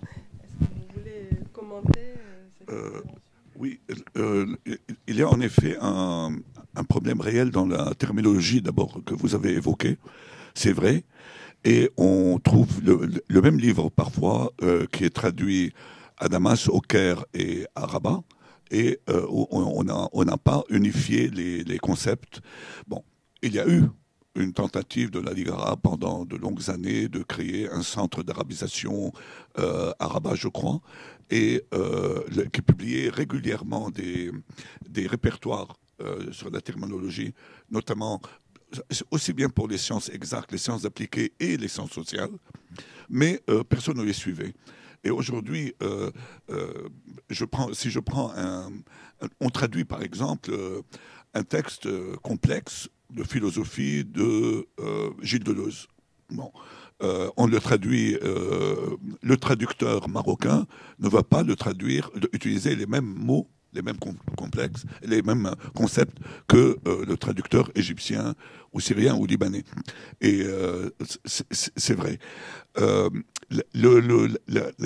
tout le monde a constaté, aussi bien d'ailleurs, on n'a pas parlé de la presse, on va, en parler maintenant, tout le monde a constaté qu'en l'an 2011, il y a eu justement dans ce vent de liberté qui a traversé l'ensemble du monde arabe, il y a eu un petit changement. On l'a constaté dans le, le, plus grand pays, en Égypte, au niveau de la presse, au niveau des, périodiques. C'était exceptionnel. Pendant un an, euh, ou un an et demi, euh, il y avait, pour la première fois, je, crois, les bouches sont ouvertes de cette manière et on s'est exprimé à tous les niveaux. Bon, dans des, des opinions libres dans la presse, euh, la diversité de la presse déjà était, et puis tout, il y a eu un arrêt avec le coup d'État de Sisi. Et euh, maintenant, c'est fini. C'est-à-dire les mêmes chroniqueurs qui, publiaient dans ces... nous reviendrons sur ça. Bon. Et mais euh, d'après ces éditeurs, il y a eu un recul après, justement. Euh, euh, ce n'est pas, un problème qui est signalé par les éditeurs tunisiens, à vrai, dire, ce, que je dis, mais par des autres, oui. Et c'est vrai qu'il y a eu une exception tunisienne aussi dans, cette, histoire durant les, cinq dernières années. Et ça explique un peu cela. Mais dans les autres pays, si, il y a un recul réel, y compris du lectorat. Et euh, peut-être c'est un phénomène d'ailleurs qui remonte à... on, nous dit par exemple que dans les années 50, euh, on traduisait un roman américain à Beyrouth, on le tirait à 3000, 4000 exemplaires. Mais aujourd'hui, on le tire à 2000 exemplaires, ce qui est complètement anormal, étant donné le, il y a moins d'analphabétisme, il y a plus de lettrisme, il n'y a, pas de raison. Bon, mais c'est un fait qu'il y a une régression euh, au niveau de, la lecture. Quels, en sont les, euh, je ne sais pas comment comment comment l'expliquer vraiment d'une manière euh, rigoureuse. C'est-à-dire, on a on a l'impression, en tout cas moi j'ai l'impression que ce qu'on appelle la vague de réislamisation a joué dans ce, a joué négativement dans le sens où euh, on lisait plus euh, comme avant un, euh, roman de, Hemingway et innocemment comme vous voyez alors qu'on l'idée était qu'on voulait s'ouvrir sur le monde et non se replier sur nous-mêmes, etc. Peut-être ça a joué à, un niveau populaire, ça a joué d'une manière très négative. Juste ajouter quelque chose, je vous remercie pour votre intervention, parce que ça nous permet aussi de, repréciser peut-être des, choses. Alors effectivement, euh, sur le plan euh, de la recherche, il n'y a presque rien sur la question du lectorat. Euh, c'est-à-dire en termes d'enquête, il y a très très peu de choses. Donc pour cela qu'on a, on avait eu de la chance d'avoir cette étude sur le Liban, mais qui ne vraiment n'est pas peut-être pas représentative en plus. ce que je voudrais dire aussi, c'est d'accord. Bon, très bien, il y a une clôture un peu du champ culturel, surtout au niveau de de finalement des références qui existaient autrefois et qui n'existent plus. C'est-à-dire qu'il n'y a plus un corpus de références qui faisait en fait, euh, qui faisait sentir qu'on appartenait à une même génération. Par exemple, euh, on pense à la génération des années 60, 70 qui avait, euh, qui partageait les mêmes lectures. Je me rappelle Fawaz Traboulsi dans son livre de souvenirs. Fawaz Traboulsi, le Libanais, qui était aussi un leader de l'organisation d'action communiste au Liban, raconte qu'à un moment donné, une organisation je ne rappelle plus laquelle, euh, attaque une banque et puis avec l'argent, euh, ils, vont payer des, traductions d'ouvrages marxistes. Donc ça, je crois que ce serait beaucoup plus difficile aujourd'hui. Mais euh, dans le même temps, il y a un petit bémol dans le sens où on a cité l'exemple de l'Arabie saoudite où il y a le plus grand nombre de lecteurs, beaucoup de lecteurs de femmes, hein, lectrices beaucoup de lectrices. Donc il y a de nouveaux lectorats aussi qui existent. Euh, et je me rappelle, par exemple, à la foire du livre de Manama, euh, devant, euh, je vois, on voit tout d'un coup une queue se former devant un stand pour la signature d'un livre. et c'était un écrivain de science-fiction koweïtien.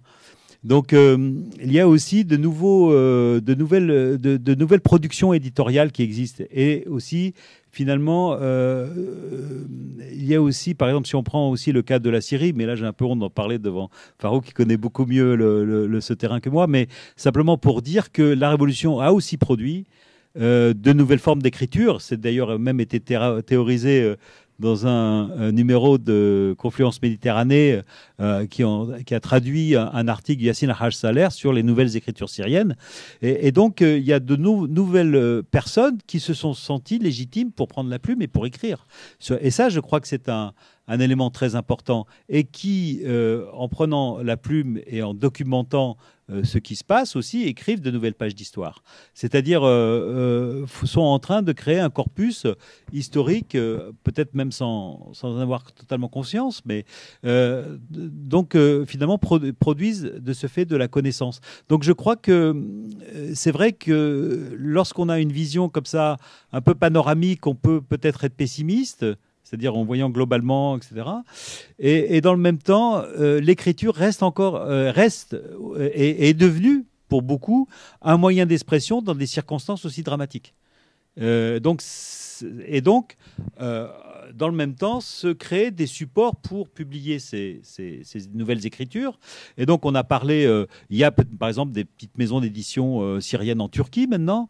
il y a aussi des sites électroniques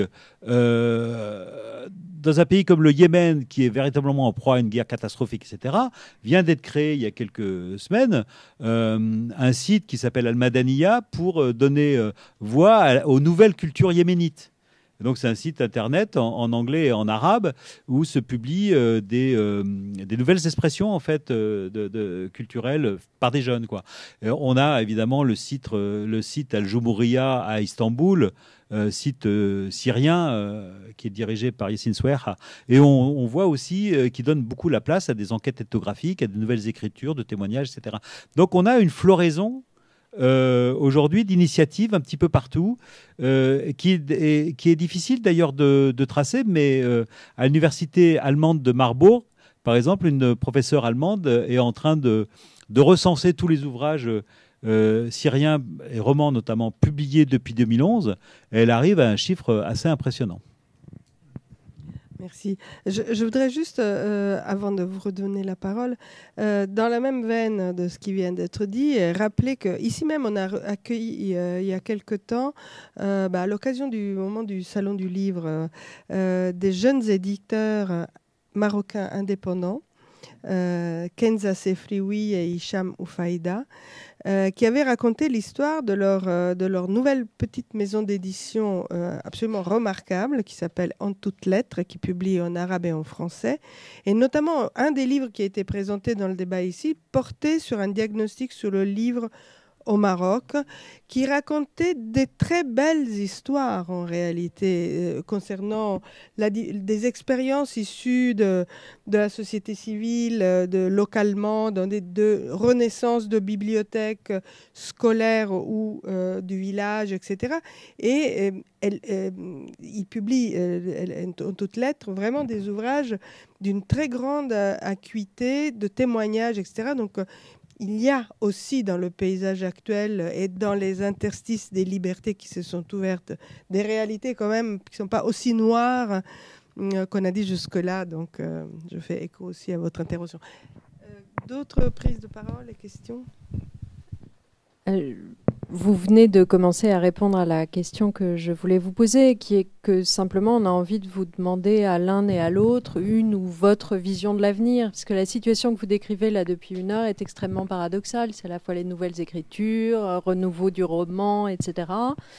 Euh, mais par ailleurs un lectorat en déclin et une industrie du livre dont on comprend qu'elle ne peut pas vraiment se structurer. Je veux dire, ne serait-ce que si le piratage est aussi endémique que ça, ça empêche la naissance d'un vrai modèle économique tel que tel qu'on en a pour le livre euh, en Occident. Or, euh, les auteurs, sans lecteurs et sans éditeurs, c'est quand même, ça peut vite devenir un petit peu difficile. Donc euh, voilà, comment est-ce que vous voyez, même si c'est pour le coup de la science-fiction, les choses évoluer d'ici dix ans? Et compte non tenu de la situation politique, etc. Donc on voit bien que. Oui, euh, euh, c'est pas vraiment une question, mais euh, j'ai été très contente que vous abordiez à un certain moment la question, disons, de l'informatique. Parce que, d'une part, vous savez que chez nous, on a, enfin, disons, en Occident, on a, on prévoyait la fin du livre qui serait remplacé par la télévision, par tous les moyens informatiques. Bon, cette fin du livre, bien sûr, le contexte était complètement différent de celui euh, du Moyen-Orient ou du Maghreb, mais cette fin du livre n'est pas arrivée. Et par ailleurs, moi, je pense que justement, euh, ces pays du Maghreb et du Proche-Orient qui sont qui ont une jeunesse beaucoup plus abondante encore que chez nous, si vous voulez, euh, il y a un certain espoir parce que effectivement, les moyens, euh, disons, technologiques sont très utilisés là-bas. Et que finalement, pour les jeunes, c'est une manière de pouvoir s'exprimer beaucoup plus facilement parce qu'il n'y a pas euh, à acheter des livres. Non, mais je suis désolée, mais si vous voulez, et que, au contraire, effectivement, on sait que au niveau de la Syrie, il y a eu énormément de poètes qui, à la faveur des événements, se sont exprimés à travers l'Internet. Et disons, ce sont des pays où tous les jeunes, quasiment, ont ou un téléphone, euh, ou euh, peut-être plus facilement qu'un ordinateur. Mais en fait, je pense, c'est un peu triste à le dire pour le livre, mais que c'est tout de même aussi une manière pour l'avenir, pour à travers ces jeunes, pour faire perdurer la pensée, une certaine culture, et que il faut envisager aussi tout ça. Anne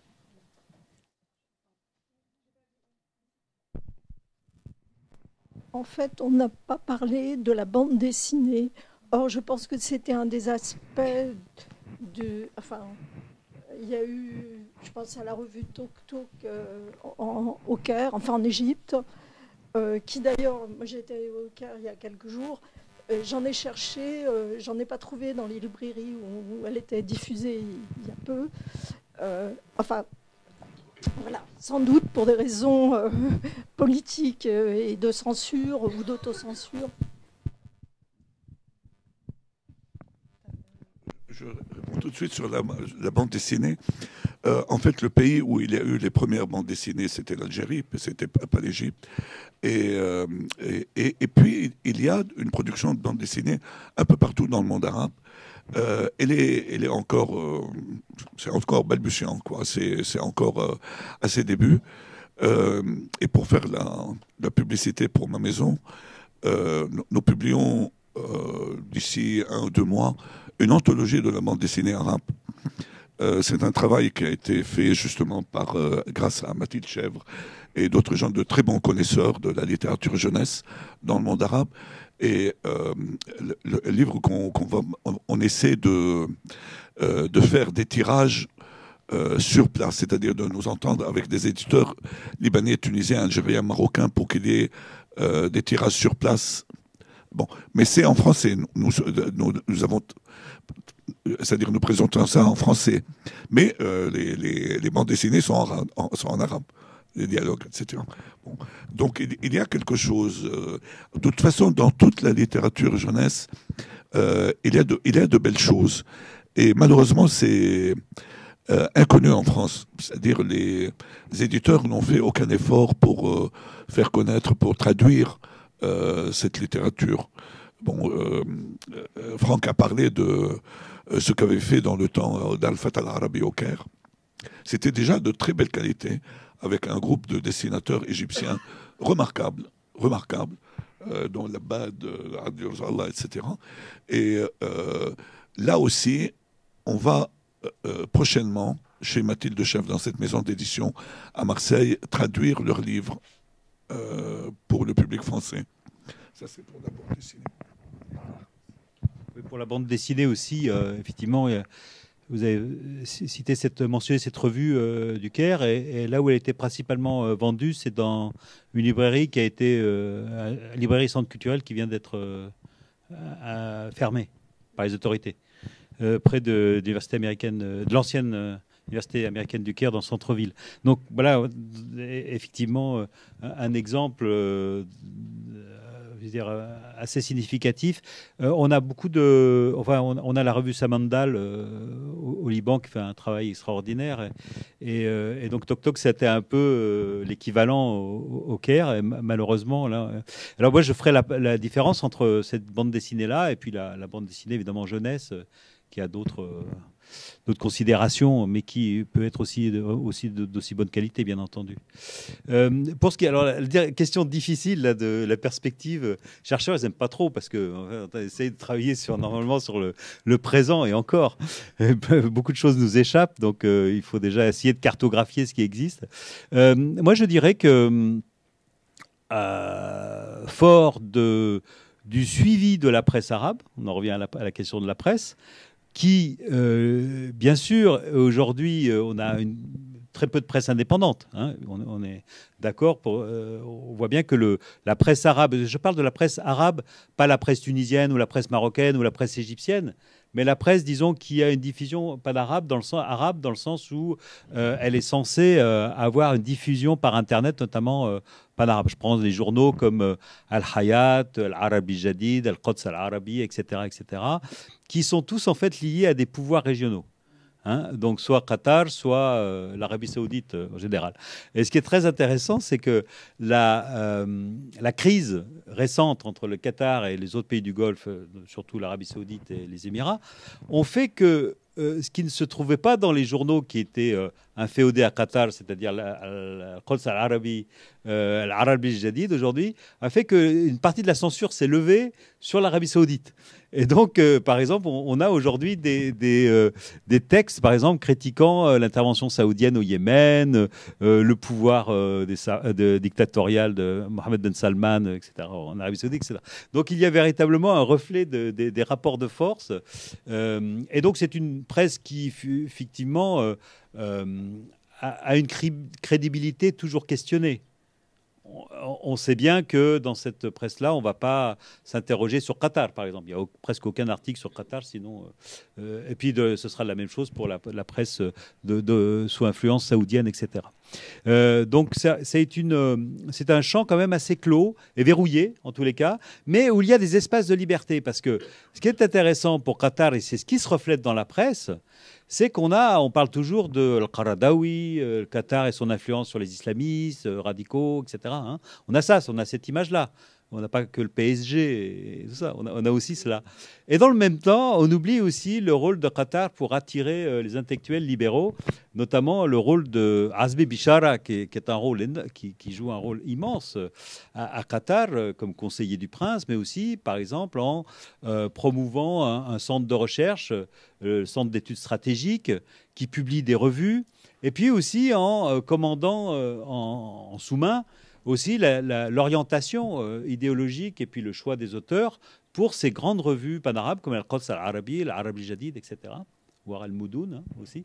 Donc il y a euh, véritablement euh, là un élément intéressant aussi de, ce qu'on appelle vulgairement le soft power, quoi, à travers cette presse. Et on voit que finalement Qatar joue sur deux, deux piliers. L'un qui est totalement ignoré et dont on ne parle jamais, Premier pilier, effectivement, euh, diffusion euh, islamique islamiste, hein, avec euh, soutien à certains groupes, tout ça, combattants et d'autres.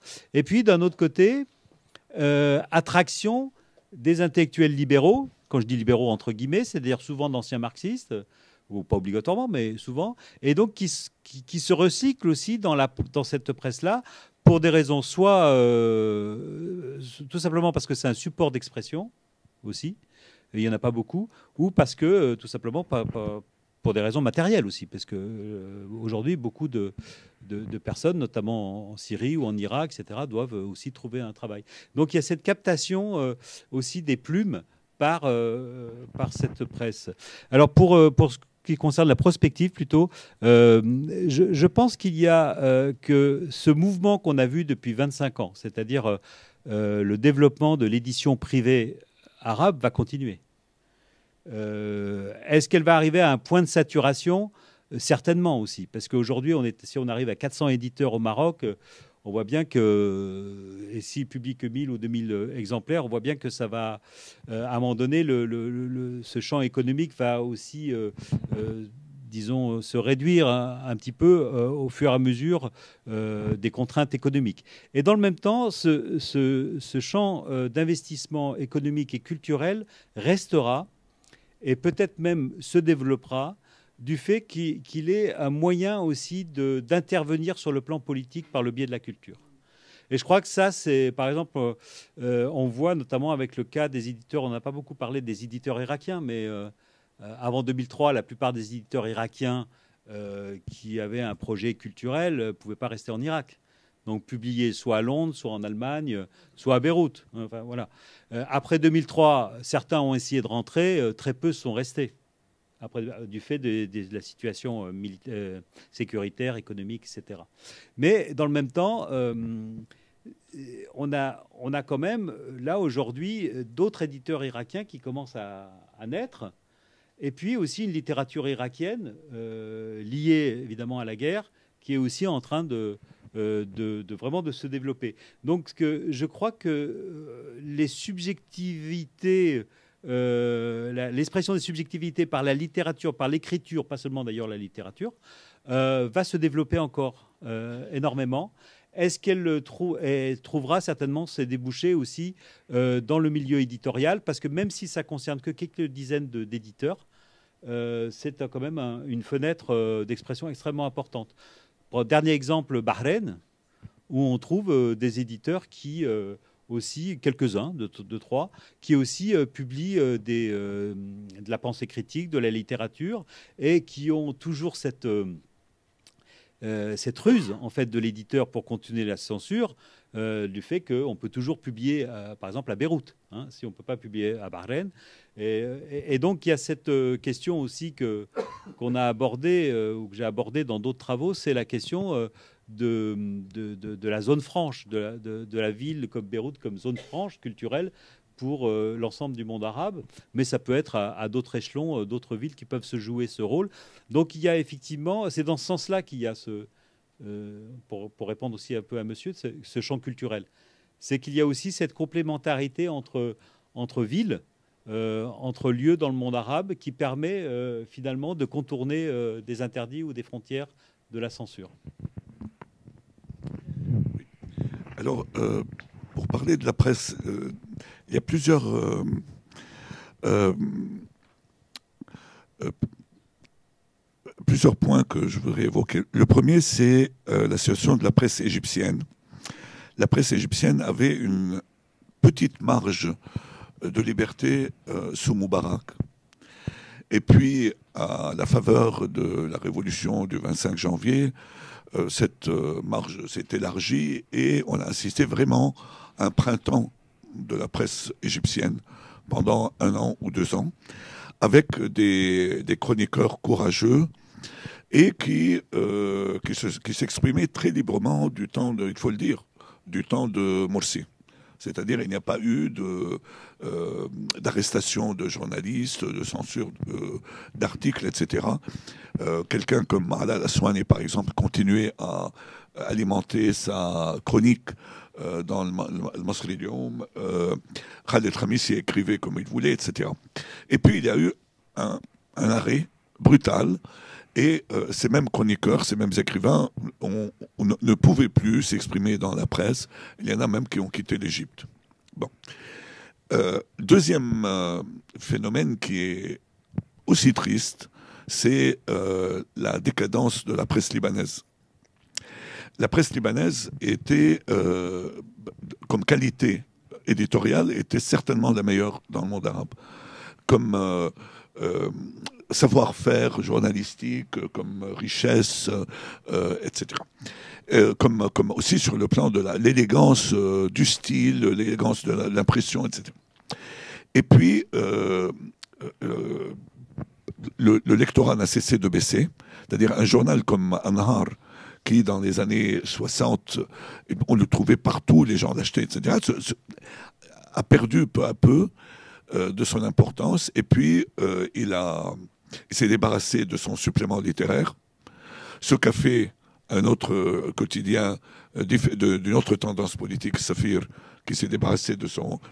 puis un troisième, et ainsi de suite.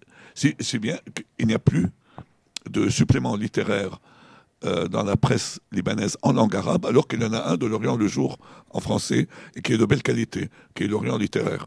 Euh, donc euh, c'est étrange un pays comme, comme le Liban. Et là, dernièrement, on parle même de la... Le Safir a disparu. Et on parle aussi de la fermeture possible du, du Nahar, qui est l'institution journalistique la plus respectable qui était dans le monde arabe, fondée par Jebran Touini, qui est pris par son fils Hassan, puis par le petit-fils Jebran, etc. Et euh, malheureusement, euh, ça, fera un, manque parce que c'était une école de journalisme, quoi. Une école de journalisme en euh, troisièmement, il y a ce que qu'a dit euh, Franck sur la presse panarabe qui dépend soit de l'Arabie Saoudite, soit du Qatar.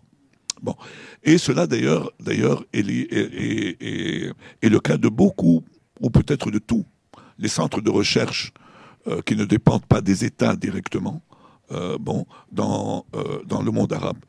Ce qui, ce qui quand même pose un gros gros problème au niveau de Là, par exemple, quand il y a eu ce conflit entre l'Arabie saoudite et le Qatar, beaucoup d'intellectuels ne pouvaient pas s'exprimer, ne pouvaient pas dire ce qu'ils pensaient, parce qu'ils euh, dépendaient les uns de l'Arabie saoudite, les autres euh, euh, du, Qatar. Et enfin, il y a la, presse, elle, qui continue, avec sa langue de bois. C'est la langue, c'est la, presse officielle euh, syrienne, par exemple, qui est les journaux du gouvernement ou du parti, ou du cousin du président, qui est, euh, enfin, les, trois journaux sont pareils, euh, ils ont les mêmes, exactement pareils, enfin, trois, trois copies, et avec la même langue de bois depuis 1963. Voilà. Belle endurance. J'ajouterais euh, la presse euh, syrienne d'opposition quand même qui, qui existe, oui. mais, mais effectivement qui est avec, euh, je ne me rappelle plus le, nom de cette. Il, y a une, une, une presse de l'opposition qui a été, c'est-à-dire c'est des feuilles qui ont été publiées par des ONG en Turquie, au Liban ou, ou ailleurs. mais euh, je dirais que là aussi, on ne peut pas dire, bon, là c'est contre mon camp que je parle, je ne peux pas dire que c'est une presse qui est vraiment libre, qui peut être vraiment libre sur tous les sujets. C'est-à-dire, elle est libre, bon, euh, parce qu'elle elle critique le gouvernement, elle critique le pouvoir syrien, quoi. Bon, c'est une presse d'opposition. Mais euh, est-ce qu'elle peut critiquer vraiment le Qatar ou l'Arabie saoudite quand elle est financée d'une certaine manière par euh, des institutions qui dépendent de ces pays, etc. Ce n'est pas sûr. Il y a, il y a non, la, mainmise des pays du Golfe sur une bonne partie du champ culturel arabe est une, est une réalité et une calamité. C'est une, une chose évidente. On, va, on va, quand même parler de quelques expériences culturelles importantes qui, qui sont passées à Beyrouth et justement qui, euh, contraste fortement avec ce, tableau noir, avec cette fermeture des suppléments culturels et littéraires d'An-Nahar, du Saphir, de Moustrakbal, etc. C'est euh, l'expérience de, de la revue euh, de Fawaz Traboulsi, euh, euh, Al-Bidayat, voilà. Je cherchais, je ne me rappelle plus. Euh, Bidayat qui, justement, est trimestriel et donc qui, malheureusement, n'est pas tout disponible sur le net, donc il faut s'abonner, quoi. Et qui publie tous les trois mois des articles d'études, des, des, recherches, en fait, faites par des des auteurs arabes de, différentes, euh, de différents pays, avec une, vraiment une très grande tenue euh, intellectuelle et un très haut niveau d'analyse. Et euh, d'ailleurs, c'est important de, de, de, le noter parce que justement, je crois que c'est un des rares exemples de revues culturelles panarabes en fait, de et indépendante, voilà, exactement. C'est ce qui, euh, c'est pour ça que je, je, dis qu'il faut s'abonner parce qu'effectivement, euh, il faut les soutenir parce qu'ils publient à 2000 exemplaires et ils envoient au Maroc, euh, dans d'autres pays, etc. Et c'est vrai qu'il y avait avant une autre revue à Beyrouth qui s'appelait Kalamoun et qui a de Hazem Sarié et d'autres, de Ahmed Beidoun, et qui a dû justement fermer parce qu'elle est indépendante. Donc cette presse indépendante est extrêmement fragile puisque là, on voit euh, qu'elle ne tient euh, par un lectorat en plus qui ne peut pas être concentré qu'au Liban, parce que le Liban est trop petit. Euh, et, donc, lorsqu'elle a cette dimension panarabe, elle, est aussi fragile, parce qu'il y a beaucoup de problèmes, notamment de distribution, d'envois postaux, etc., de, collecte de, l'argent, c'est extrêmement difficile.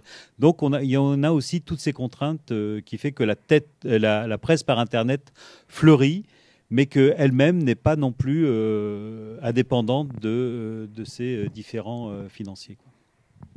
Merci beaucoup. Cela est vrai aussi de la Tunisie, qui a une floraison de, médias Internet qui sont d'une qualité extraordinaire et totalement indépendante, où on trouve des contenus vraiment remarquables. Je pense que nous avons fait quand même le tour très largement de ces questions, même si on pourrait rester encore longtemps, parce que sur chacune, on pourrait aller plus loin. Mais je crois qu'on peut remercier nos intervenants de leurs éclairages. Et puis.